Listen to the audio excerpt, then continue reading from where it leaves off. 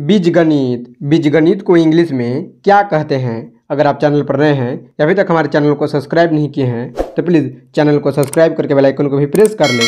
तो चलिए वीडियो को करते हैं स्टार्ट। है बीजगणित। बीजगणित को इंग्लिश में क्या कहते हैं? आंसर। बीजगणित को इंग्लिश में एलजेब्रा कहते हैं। Spelling A L G E B R A algebra algebra means बीजगणित। अगर आपको यह जानकारी अच्छा लगा हो तो प्लीज़ वीडियो को लाइक करें चैनल को सब्सक्राइब करके बेल आइकन को भी प्रेस कर लें। तो बस, आज की वीडियो में इतना ही। Thanks for watching